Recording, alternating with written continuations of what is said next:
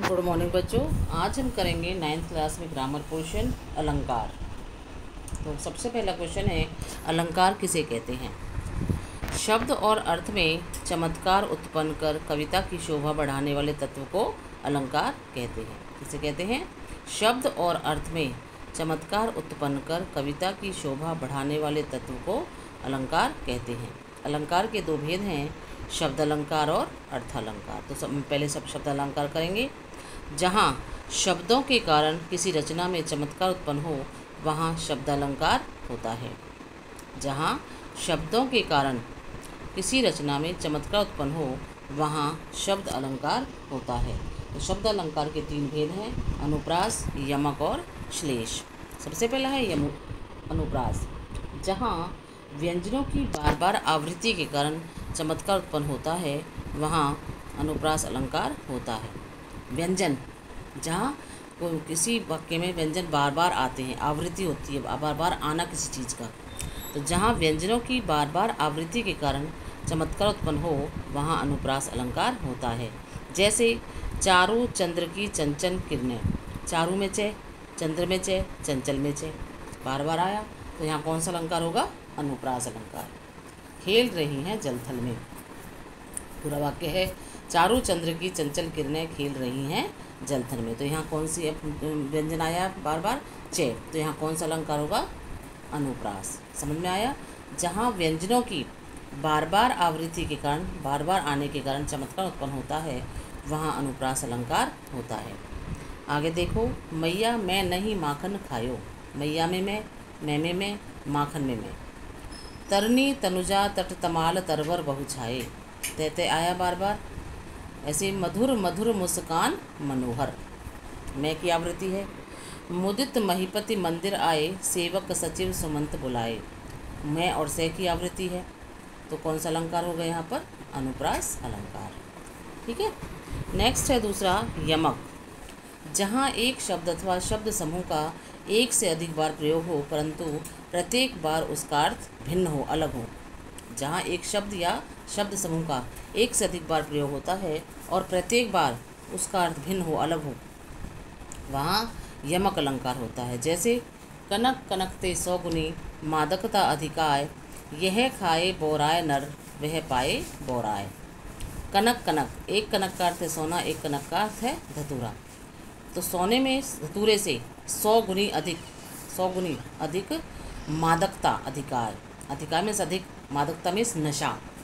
तो सोने में धतूरे से सौ गुनी अधिक मादकता होती है। यह खाए बोराय नर इसको खाने से व्यक्ति पागल हो जाता है किसको? धतूरे को। धतूरे को खाने से व्यक्ति पागल हो जाता है। वह पाए बोराय। और उसको पाने मात्र से। किसको पाने मात्र से? सोने चांदी को। जब व्यक्ति के पास धन दौलत आती है, वह नशे का अनुभव करने लगता है कि मैं तो धनवान हो गया। तो इसको खाने से, एक को तो खाने से व्यक्ति पागल हो जाता है, धतूरे को धतूरा नशीली पदार्थ है और दूसरे को केवल पाने मात्र से ही व्यक्ति नशे का अनुभव करने लगता है। सोने में धतूरे से सौ गुना अधिक नशा होता है, उसको खाने से व्यक्ति पागल हो जाता है, अर्थात नशे का अनुभव करता है। इसको खाने से, इसको प्राप्त कर लेने मात्र से नशे का अनुभव करने लगता है। यहाँ पहले कनक का अर्थ है सोना और दूसरे कनक का अर्थ है धतूरा। अतः यहाँ कौन सा अलंकार होगा? यमक अलंकार तो पर वारो उर्वशी सुन राधि के सुजान, तू मोहन के उर्वशी, हवे उर्वशी समान। अब यहाँ पर तीन उर्वशी आए हैं। तो पर वारो उर्वशी मैं श्री कृष्ण जी कहते हैं कि तो पर वारो उर्वशी राधिका। राधि राधा से कहते हैं कि मैं तुम्हारे ऊपर स्वर्ग की अप्सरा है, उर्वशी। तो उसको न्यौछावर करता हूँ, सुन राधि के सुजान। तू मोहन के उर्वशी। तुम मोहन के हृदय में, उर्वशी में हृदय में बसी हुई हो। हवे और बसी समान। किसके समान हो, गले में पहने जाने वाले आभूषण के समान हो। तीसरे उर्वशी का जो अर्थ है, गले में पहने जाने वाला आभूषण है। तो तीनों का अर्थ अलग अलग हुआ। एक उर्वशी का अर्थ है स्वर्ग की अप्सरा। दूसरे उर्वशी का अर्थ है, कृष्ण के मोहन के हृदय में बसी हुई। और तीसरे उर्वशी का अर्थ है, गले में पहने जाने वाला आभूषण। तो तीनों का अर्थ अलग है तो यहाँ कौन सा अलंकार होगा? यमक अलंकार। पहले का अर्थ है उर्वशी, दूसरे का अर्थ है हृदय में बसी हुई, और तीसरे का अर्थ है गले में पहने जाने वाला आभूषण। अतः यहाँ कौन सा अलंकार होगा? यमक। ऊँचे घोर मंदिर के अंदर रहने वाली ऊँचे घोर मंदिर के अंदर रहती है। पहले जो मंदिर है, उसका अर्थ है पर्वत, और दूसरे का अर्थ है महल। तो अब मंदिर आए हैं तो दोनों का अलग अलग अर्थ है। तो यहाँ पर कौन सा अलंकार होगा? यमक अलंकार। जगती जगती की मुख प्यास। दो जगती हैं दोनों का अर्थ अलग है। जगती मीन्स संसार और जग, जगती मीन्स जागती है। ठीक है तो यहाँ कौन सा अलंकार होगा? यमक नेक्स्ट है श्लेष। श्लेष शब्द का मूल अर्थ है चिपकना। किससे? चिप चिपक जाना।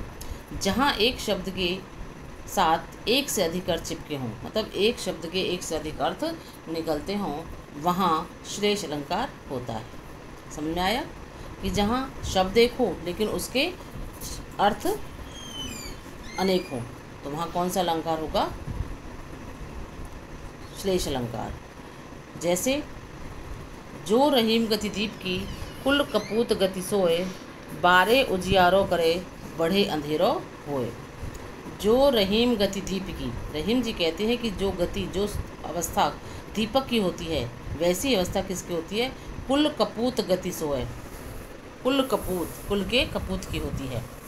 बारे उजियारो करे। बड़े होने पर वह क्या करता है?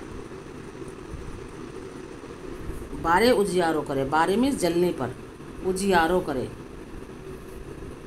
प्रकाश करता है बढ़े अंधेरों हुए और बढ़ने पर मीन्स बुझने पर जो दीपक है जब वह जलता है तो चारों तरफ़ उजाला हो जाता है और जब वह बढ़ बुझ जाता है तो अंधेरा हो जाता है। ऐसे ही यदि जो कप, कुल का जो पुत्र है यदि वह कोई अच्छा कार्य करता है तो कुल का राम नाम रोशन होता है और वही अगर वह कोई कुकर्म करता है बुरे काम करता है तो जो सम, समाज में परिवार का नाम डूब जाता है। तो यहाँ बारे और बढ़ी में श्लेष अलंकार क्योंकि बारे का अर्थ बचपन में और जलाने पर बढ़े का अर्थ है उम्र बढ़ने पर बड़ा होने पर और बुझने बुझाने पर। ठीक है? तो दोनों के अर्थ अलग हैं तो यहाँ पर कौन सा अलंकार होगा? श्लेष। दूसरा उदाहरण देखो। रहीमन पानी राख राखिए बिन पानी समसून पानी गए न उबरे, मोती मानुस चून। रहीम जी कहते हैं रहीमन पानी राखिए रहीम जी कहते हैं कि मनुष्य को अपनी मान मर्यादा, अपनी इज़्ज़त बनाए रखनी चाहिए। बिन पानी सब सून, बिना पानी के सब कुछ सूना है सब कुछ व्यर्थ है। पानी गए ना उबरे, पानी के चले जाने पर मोती मानस चून। मोती, मनुष्य और चूने की कोई महत्व नहीं रह जाता। कहने का तात्पर्य क्या है? रहीम जी कहते कि मनुष्य को अपनी मान, मर्यादा, अपनी इज़्ज़त बनाए रखनी, अपनी रक्षा करनी चाहिए। बिना पानी के सब कुछ सूना है, व्यर्थ है। पानी के चले जाने पर मोती का, मनुष्य और चूने का कोई महत्व नहीं है। यहाँ पानी शब्द के तीन अर्थ हैं। मोती के पक्ष में पानी का अर्थ है उसकी चमक, मोती की चमक। अगर मोती की चमक चली जाती है तो उसका कोई महत्व नहीं रह जाता। जब तक मोती में चमक है तभी को उस, उसका उपयोग करते हैं नहीं तो उसका कोई महत्व नहीं रह जाता। दूसरा है मनुष्य के पक्ष में पानी का अर्थ है इज़्ज़त। चूने के पक्ष में पानी का अर्थ पानी पानी के बिना चूने की सफ़ेदी नहीं उभरती। तो यहाँ पानी शब्द के एक से अधिक अर्थ लिए गए हैं तो यहाँ पर श्लेष अलंकार है। तो यहाँ कौन सा अलंकार होगा? श्लेष। ठीक है? नेक्स्ट देखो विपुल धन अनेकों रत्न हो साथ लाए प्रियतना, प्रियतमा बतला दो, लाल मेरा कहाँ है? अब यहाँ पर लाल शब्द के दो अर्थ हैं। एक लाल मीन्स बेटा और दूसरे लाल का अर्थ है मणि। हीरा मोती, ये कहते हैं लाल। तो यहाँ कौन सा अलंकार होगा? श्लेष अलंकार। ठीक है?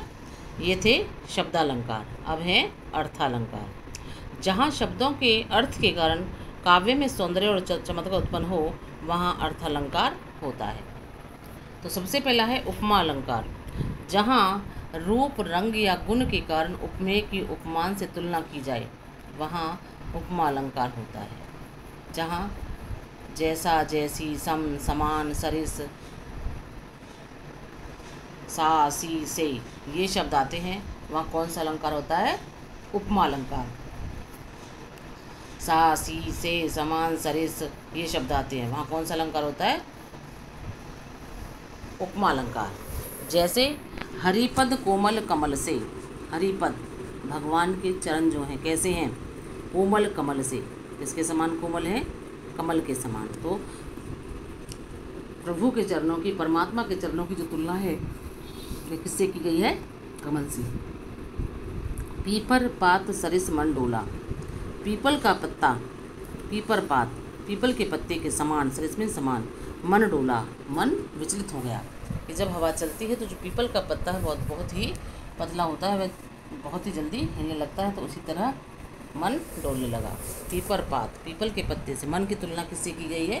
पीपल के पत्ते से। गंगा का यह नीर अमृत के सम उत्तम है।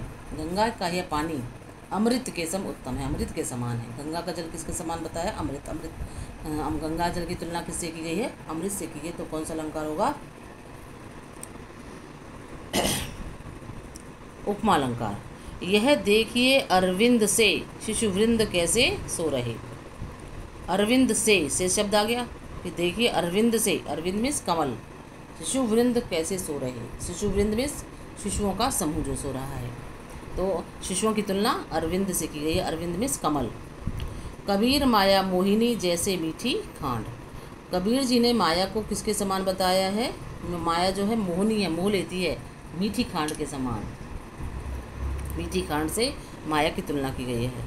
हो क्रुद्ध उसने शक्ति छोड़ी एक निष्ठुर नाग सी, सा, सी तो हो क्रुद्ध उसने शक्ति छोड़ी एक निष्ठुर नाग सी।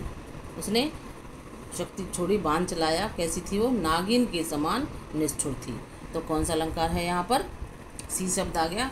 तो कौन सा अलंकार होगा यहाँ पर? उपमा अलंकार। तो ये इतना ही आज कराऊँगी। नेक्स्ट आप अगली क्लास में करेंगे। तो ये आपको हिंदी ग्रामर की कॉपी में नाइन्थ क्लास का होमवर्क है ये, नाइन्थ क्लास की वीडियो है, नाइन्थ क्लास का होमवर्क है तो ये अपनी कॉपी पर करना है और इसे याद करना है।